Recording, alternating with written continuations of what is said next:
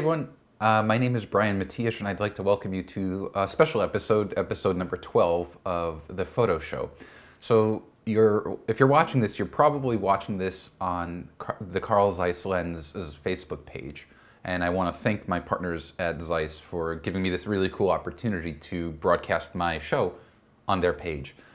Uh, just a little bit of background of what this is and who I am. So I am a photographer and a published author. That's my, my book right there. And I'm based here in Portland, Oregon. I'm also fortunate because I'm a Zeiss Lens ambassador, so I get to work closely with uh, my friends at Zeiss uh, on, you know, uh, working on uh, unreleased or unannounced lenses, uh, getting early access to them to help build a cache of photos, you know, with the lenses. And that's kind of how this episode came to be. Um, the photo show is something I started about a month ago, and it's the first Facebook Live show that's dedicated to photography and videography and the technology that surrounds them. And so my goal is to provide you with great information. So before we begin, what I'd like to just invite you to do is, um, if you're watching live, uh, leave your comments. I'm, I've got here, I'm looking at my screen, and uh, we have the live feed going on. Um, so just ask your questions. I'll be looking in, and I also know that my friends at Zeiss and Exolens are watching. So if you have questions about what we're going to talk about today, just leave them in the comments. We'll do our best to answer them. So what is this about? Um, this is about Exolens. So my involvement with Exolens started back in December of 2015. Um, I was contacted by Zeiss and uh, kind of told about this project that they're working on, uh, which was very exciting because, uh, you know, I never in I know Zeiss. I mean, I think everyone in photography and videography knows Zeiss. I don't think anyone ever expected Zeiss to come out with mobile lenses, but you know what? If anyone would, I'm glad it was Zeiss. So it was announced in a partnership with uh, Fellowes that uh, this new breed, I call it a new breed of um, mobile photography optics made by Zeiss uh, called ExoLens, uh, it was announced. And in December, I had about five days. I, I, had just barely any time to work with their wide angle lens. And so you can see uh, in this shot over here, there are three lenses. There's the wide angle lens, which I'll cover. There's a telephoto lens, and then there's a macro lens. And all three lenses currently uh, work with uh, the iPhone system, or it will work with the iPhone system. And this is kind of a mock of what it looks like. So um, here are a few kind of high, I, I just want to start, before I show anything, I want to start with some, for me, some important, uh, I guess, concepts of uh, what um, I like about these lenses. So the first, and this is the prob in my opinion, the most important thing. Um, unlike just about any other mobile lenses that you have on the market currently, this is an actually an spherical lens. And what that means is it uh, having aspherical lens design will minimize distortion. This is especially important with wide angle. So for landscape shooters and travel shooters, that wide angle um, lens, if it with an spherical lens, and I'll show you an illustration in a second, will minimize distortion and it'll also minimize and eliminate chromatic aberration. And these are uh, really, really important things when you're dealing with mobile photography because um, you have, in some cases, less latitude than if you're working with a bigger lens and a bigger camera sensor. Now, in terms of the construction, I'm a, I'm a sucker for good construction. Uh, the lens itself, it, it looks like, um, where is this? It actually looks like a, a, baby Batis lens. This is the brand new Zeiss Batis 18 millimeter f2.8. I, I, love this lens. I, I've been using it since I got it last week, nonstop. And so when you see it, when you see photos, it looks like they took, it's almost like from the movie Ant-Man. They, they took a Zeiss lens, a Batis lens, and they just shrunk it down um, significantly. And uh, what's also important, actually more appropriate when I'm holding this 18 millimeter lens is that you get the equivalent of an 18 millimeter focal length when you're using the wide angle exo lens. So the construction is um, high-end anodized aluminum, uh, and when you see it close up, it look I mean it looks like a miniature Batis lens.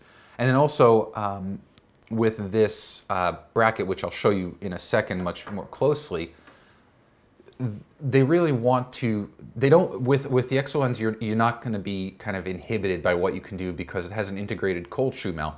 So you can set up something like a boom mic and uh, you also have an integrated uh, quarter inch tripod mount a standard tripod mount. So um, just going back to what I meant by uh, normal lenses versus aspherical lens.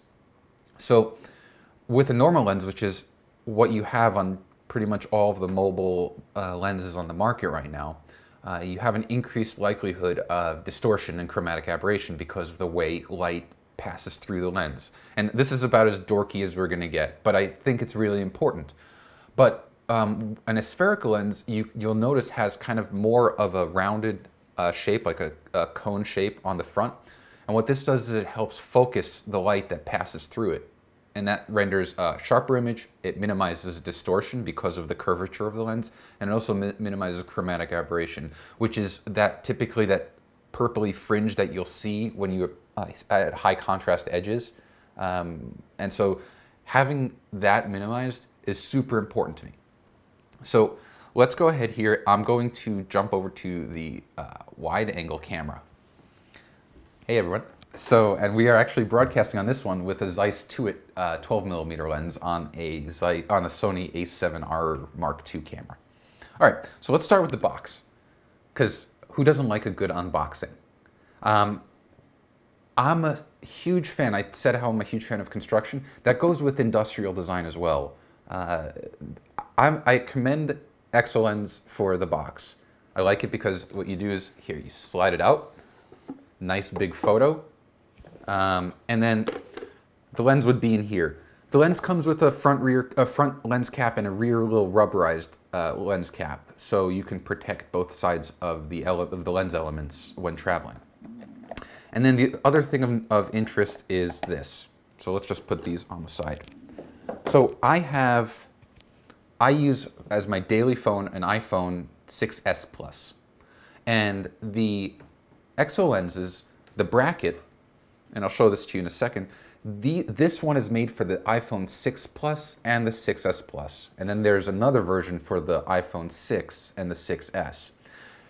Now, the only difference, these gel inserts, other than making sure that you have kind of a, a, a frictionless slide, which won't scratch your phone, it helps kind of ensure that there's proper alignment with the iPhone camera lens.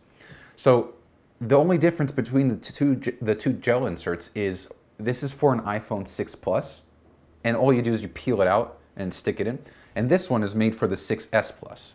So let's just kind of walk through here. I'll show you quickly. I'll illustrate. So this is the bracket uh, made out of aluminum, really, really rigid, really, really nice. And it, it has that kind of sci-fi feel, which I can appreciate. But you can see this is um, where you screw the lens on and it's a very, very secure screw. There's no magnets, there's no adhesive. You screw it on and it stays in place, and that's exactly what you want. Um, there is the cold shoe, which is up here, and then on the bottom here is the uh, quarter inch tripod mount. So, and then there's access for the power button over here. So let's go ahead here. Here's the phone, my phone. I've got um, just an Apple leather case, so just take it off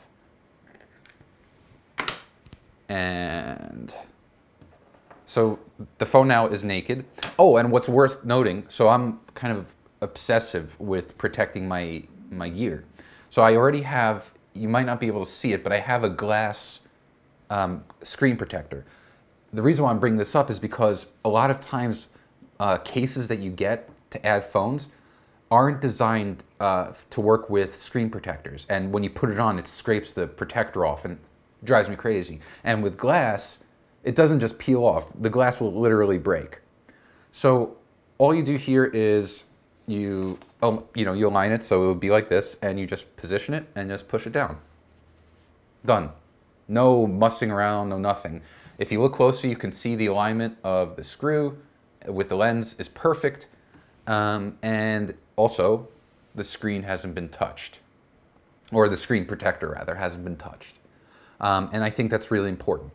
So here's the little baby Batis I'm calling it the baby Batis. This is the um, the wide angle exo lens, and you can see the rear element and the front element over here. I mean, it's so cute. I love it. I, I absolutely love it. Um, and what I also like about it, I mean, I'm partial to branding, but you have uh, anyone who's familiar, you know, with photography, if you see the blue badge on the side, the Zeiss badge, you know, you, I, I take notice. Um, it also comes with a lens hood. So the lens hood just snaps in place. And I've used this lens quite extensively and not once, not one, I mean, it's been in my camera bag, it's been in my pocket, not once has the lens hood snapped off, which I think is impressive. So um, last week on the photo show, I, came, I gave an early look of this lens just as I got it. And here's one thing, um, speaking of design, kind of meticulous design, uh, the nerd in me can appreciate this. So watch, I'm gonna screw it on. Usually, this is how I screw it on. I kind of base, I do it upside down because um, it just is, reduces the likelihood of it falling. So snap it in place and done. But every time it screws on, you, the logos, you've got the Exo Lens logo here. It's kind of, where's the light? You can't see it. Okay, but you have also the Zeiss lens. They're always aligned, which means that the lens will always secure on the same exact way every single time. And for me, th those little things mean a lot. Um, so I, I, really commend the engineers uh, for designing it this way. I'm going to take a second here. I want to see if there are any questions. Um, there, wow, we have a lot of people here. Very cool. 130. Oh, we have some good viewers. Um, so I'm gonna. I have the information of. I'm gonna address at the end, guys. So people are asking about pricing and availability, and like which phones are supported. I have that information up, uh, and I'll bring that up at the end of it, at the end of the the show. Actually, I'm gonna bring it up. Where's my thing from Sandra? Bear with me, guys. I just want to make sure I have all of that information for you.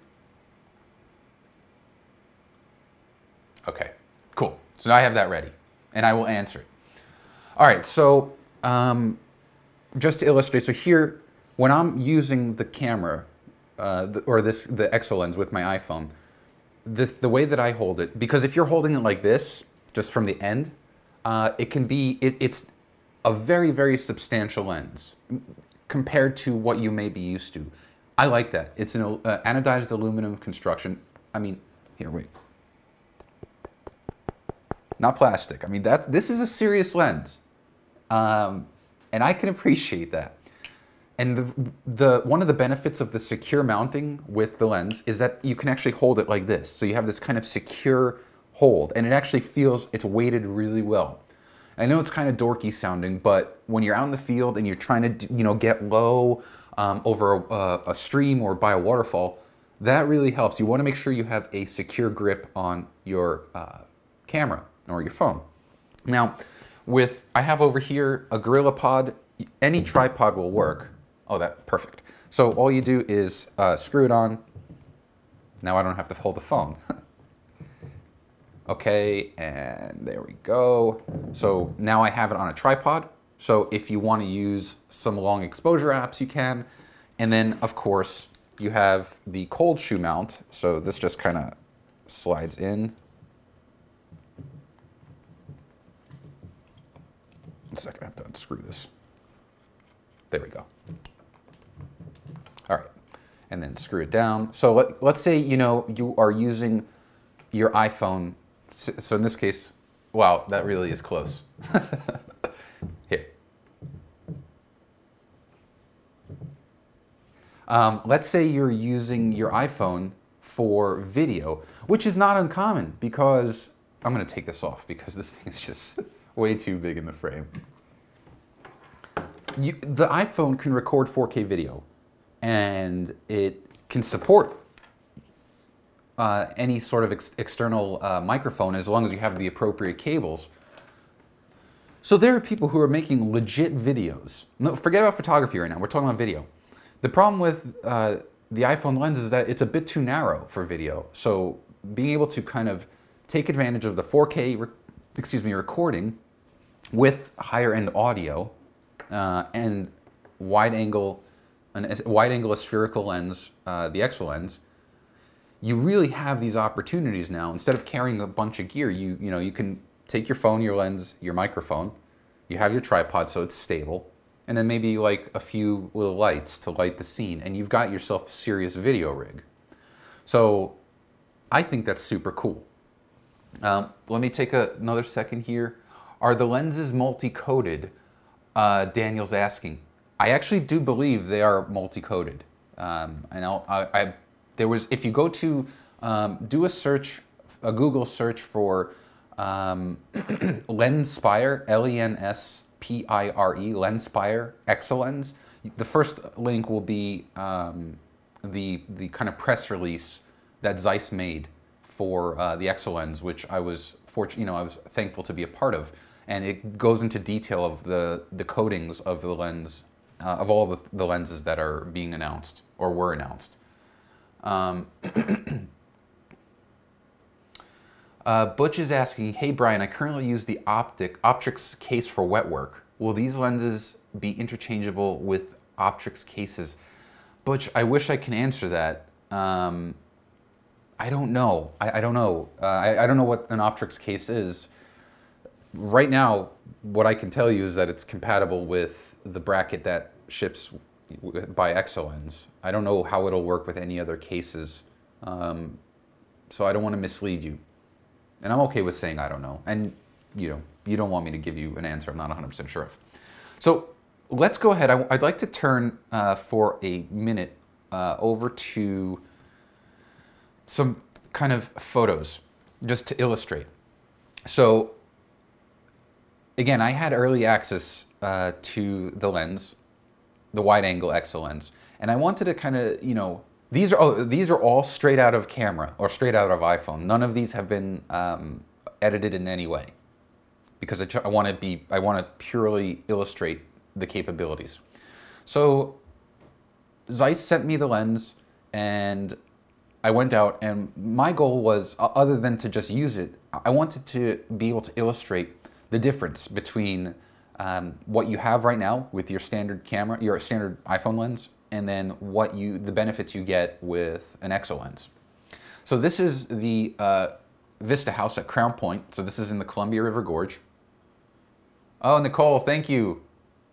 Nicole is in here. I just saw her post. So, so um, who asked about the multi-coating?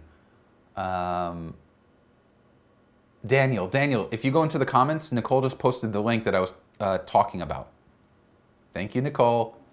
Um, so this is again the standard shot. You, you, if you drive up to the Vista House in in uh, the Columbia River Gorge and here in Oregon, and you point at it, this is what you get. And I'm still kind of amazed because watch. So here is what you get with the wide angle lens. So one more time. iPhone shot, boom. And why I'm amazed is because there's like no one here, because it was in it was in the middle of the winter. It was a few days before Christmas, and uh, it was freezing cold, but and the weather was really poor, so no one was here. Normally, people are around here everywhere. It's impossible to get a photo without people. Speaking of another place in Oregon that is impossible to get without people, although there is one person there, this is Multnomah Falls probably the most famous waterfall in the entire area. Um, and you can see the Benson Bridge. And the what you have is, again, you walk up to the kind of uh, pedestrian area and you lift your phone and there you go. But with the Exolens, boom, I mean, it's again the equivalent of an 18 millimeter lens. And if you look at the corners, there's no distortion, um, there's no chromatic aberration, which uh, earlier I was saying chromatic aberration is the purpley fringe that you see um, at a high contrast edge. So chromatic aberration would be visible um, where you see the gray sky, where it meets the tree line, that's where you would see chromatic aberration, and there is none. So that's huge. Um, I also had an opportunity to walk around. This is so those first sets of images were with a pre-production model and now we have photos that I took with the lens that I got last week, which I would say is close to a production model. just walked around the city and this illustrates the close focusing capabilities. So this doggy was kind enough to just sit there and let me photograph. I think it was a boy, I'm not sure. Um, and then I went back to Latourell Falls, which is another very famous waterfall, just to show what wide angles can do in terms of creative composition. So uh, it just so, you know, it's fortunate that there's this break in the trees where you get to the waterfall right in the middle. So I took this on Saturday, like, or Friday, just last week. Um, and then on this past Sunday, I went to a waterfall called Little Zigzag Falls. Now, here's what I want to illustrate here is um, not so much the capabilities of the lens, but the creative opportunities. So here, this is a, a creek. This is the kind of the runoff from the waterfall and standard shot. This is with the EXO lens. Um, but one of the things you can do, I don't know if you know this, but there are apps uh, I, for both iOS and Android that simulate long exposure. So all I did was I braced the iPhone on uh, my camera, like on my A7, which is on a tripod, because I didn't bring a, a second tripod. Um, and I used the app to take this long exposure. Um, so, you know, it, it, it, if I were to show you um, a photo taken with my A7, the, there would be a lot of similarities. So you can see, I mean, it's, it's pretty cool, right? Like this is your standard photo. And then with the app, you can simulate shallow depth of field. So again, what you're, get, you're getting uh, with a wide angle EXO lens, because of the spherical lens, you're, minim you're minimizing distortion, you get no chromatic aberration, you get punchy color colors and contrast. And then when you use third-party apps to go along with the third-party lens, you get some really cool opportunities with a phone instead of a heavy camera and a heavy lens. So, um, so you know, that's kind of, in my opinion, one of the, the main benefits of why, why I'm so excited about where we're going with this kind of stuff. So, you know, oh, that's nice. I like that framing right there. So again, the the EXO lenses will come in three flavors. There's this wide angle lens, there's a telephoto, and then the macro. And uh, I mean, next to the wide angle, I cannot wait to use the macro lens because there are so many cool opportunities where I live to get close-up shots of things. So, and just to have the same quality, uh, optical quality with my iPhone is great. So let's go ahead here and uh, I'm gonna see if there are any other questions. I, there are a bunch. I just wanna make sure that we get to them. Um, let's see here.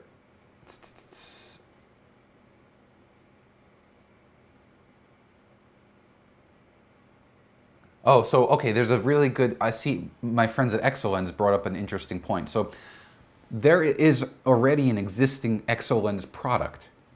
Um, so if you go to the EXO Lens webpage, you'll see the, the existing product. Um, these lenses, the, the EXO Lens lenses by Zeiss, won't work with the older bracket. So you have to use the bracket that comes with um, the EXO Lens by Zeiss. So it's just one of those important points to make. Now, I'm going to bring up some uh, just kind of talking points that I was provided that I think will address a lot of your questions. So these are kind of official talking points uh, in terms of when, so when will the product start selling? Okay, so uh, they're scheduled to launch globally mid-June 2016. So what is it, May 25th? We are just a handful of days away till June and then another couple weeks. So I would say within three weeks, it should start shipping. Um, and that's with the wide angle lens. So that's the wide angle lens kit. We'll start shipping in mid-June. And currently it's scheduled to be available for purchase at apple.com, so Apple's website, and then also all the Apple stores globally, which is was quite cool. Um, because I would say, in terms of mobile photography, I would say Apple pioneered that. And uh, if it were my decision, absolutely. I know that there are tons of Android phones, but um, with with iPhone, the penetration of mobile photography, I mean, they pioneered it, and No, no knock on Android whatsoever. I have an Android phone as well, but yeah, I mean, it's it's the smart move. Um, what will be the price point? Okay, price point. We are looking for um, the wide angle lens kit. So, not speaking about the telephoto or macro lens, is set for $199.99, and that's US dollar. So $199.99, and the macro and telephoto lenses will both launch a la carte uh, this summer. So it looks like, if I understand correctly, um, this is this kit comes with the bracket, and then you'll get the wide angle lens, and then you can buy the macro lens and or the telephoto lens to go with it, so you don't need three different brackets. Um, so so yeah, the the only price that we that has been confirmed is the wide angle lens for 199.99, and that's what uh, for what this is. I mean, it's all it's aluminum, and it's uh, just simply optically superior to anything I've used. And I've used a lot of lenses for mobile photography, um, and I even did some comparisons when I first got this in December. I did I had several lenses that I tested with I'm not going to share them. Not, I don't want to talk about them, but all I will say is there was no, it was not worth comparing. Um, compatibility with the iPhone 7. Um, iPhone 7 is still just being rumored, but um, they are saying that they are going to be working on development for the iPhone 7. Personally speaking, I appreciate that because I can guarantee you that I'll be buying an iPhone 7 and I want to make sure that I can still use my EXO lenses. So fortunately, it's I would assume it's mostly um, a bracketing issue, but I don't know. Um, is it for iPhone only? This I know have been a ton of questions about this. Why is it not for Android? And um, currently the options are for iPhone only. So iPhone 6, 6S, 6 Plus, 6S Plus. Um, but expanding to other smartphones is definitely a possibility, so not out of the realm. And I'm going to just speak, this is more of an op-ed comment um, from my own, my own kind of thoughts. If you take a look at it, so let's look at just the iPhone line and let's look at Android. With iPhone, you have primarily, you have the iPhone 6, 6S, 6 six 6S Plus, 4, 4 and those even between those two, they're virtually the 6 Plus and 6S Plus are virtually identical. Um, and then you also have the iPhone 5 SE. So you have, let's just say five models, five iPhones. And then Android, I mean, you have Nexus, Samsung, LG, um, Huawei, uh, Xiaomi, um, I, I, mean, Sony. You have all of these vendors, and within each vendor, you have I mean, look at Samsung. So it's, it's really hard to be able to make brackets like that, especially because those models get updated multiple times a year. So uh, just speaking for myself, that's kind of, I can understand that. You know, it, there's a kind of a cost involved in terms of R&D. All right, uh, any other focal lengths? So right now, these are the focal lengths that uh, Zeiss and, and uh, the EXO lens is coming in, but uh, but yeah, so expanding to other focal lengths on other smartphones is a possibility. I always like to hear that. And here's a cool one for the iPad Pro. Uh, is it available for the iPad Pro? So I have, I have an iPad Pro. This is a 9.7 inch uh, current gen. And right now, according to the tests, the lens itself works with the iPad Pro, but um, they, there's no mounting system for it yet and I can only imagine how, how big it would be.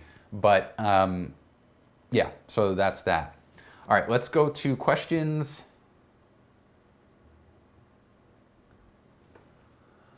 Uh, um, will there be package prizes? I don't know, actually. So Florian's asking if there are going to be package prices, meaning like entire, I don't know uh, if there are going to be savings for bundles. Uh, those are the types of things. Just wait and see. I know it's, you know, that's just the way it is, but um, I'm sure that stuff is still being figured out. This is still, remember, this is still kind of early, an early look. So once it starts shipping, I'm sure more information will come out. Um, David's David Bates is saying this lens looks amazing. Will you sh- be showing the tele and macro as well? So um, I I believe uh, David, if you go back on Zeiss's page and even on ExoLens's page, um, I think last week my, uh, my fellow Zeiss lens ambassador uh, Greg Waterman did a, a, Facebook Live show, and I think it was with the telephoto. Um, so check it out. I, I don't know if I think it was. But there is another, there was another show last week. I'm focusing on the wide angle right here. Um, let's see what we have here. This is not about iPhone, this is about camera. Interesting comment. Brian, Brian Ma is saying this is not about an iPhone Zeiss lens. It's about the camera. Uh, it's about if the camera can help you take photos in higher with higher probability of success. Totally, absolutely. Um, but in order, you know, I'm not saying that I will never say that it's all about the gear. I mean, it's all about the photographer. But when push comes to shove, if I have the opportunity to use superior optics, which ultimately the optics, when you're talking about hardware, is probably the most critical part of the equation, next to maybe the the exposure the, the exposure plane, which is your sensor yeah, I'm, I want the best thing possible. Uh, and more often than not, I when I look, see when I compose, I compose in wide angle. That's why I couldn't wait to get my my Batis, my 18 millimeter Batis, because this is the widest angle prime lens uh, for Zeiss for the Sony full frame system. And that's what I wanted. Um, I, and I use that along with the 21 millimeter Loxia, um, which is a phenomenal lens. But to have this uh, with autofocus is, is brilliant. So yeah. Let's see, what else do we have here? Um, let's see what we have. It's a bunch of, wow, a lot of questions. Um, I think we are, let me know if there are any other questions Okay, Florian's confirming actually that Greg Waterman's show that I just re referred to was um, the telephoto. Florian, thank you for that. Um, I think that's it. So if, uh, if you have any other questions, leave them quickly. Otherwise, what I'd like to do is uh, just kind of show you how you can follow me. So again, my name is Brian Matiash, and I'm everywhere. Uh, you can follow me on Facebook and Instagram and Snapchat, Twitter, and YouTube, all of those slash Brian Matiash. Uh, I'd love to connect with you. I'd also like to once again uh, thank so much my friends at Zeiss, um, Simone, Sandra, Nicole. Thank you so much for this opportunity. This was uh, really cool. Uh, I'd also like to thank my friends at ExoLens for sending me early access to the wide angle ExoLens. Again, $199.99 uh, for the wide angle kit available at apple.com and Apple stores, the retail stores worldwide, looking at mid-June. Uh, if you have any questions, keep the, just because the show ends, the post still lives on, so add your comments. I'll be checking it out. I'm sure my friends at Zeiss and ExoLens will be checking it out and will respond uh, as quickly and as um, accurately as we can. So for that, I look forward to seeing you on the next episode of the photo show. And finally, to everyone out there who is watching, who is participating, thank you so much. You make the show awesome. All right, everyone. Bye-bye.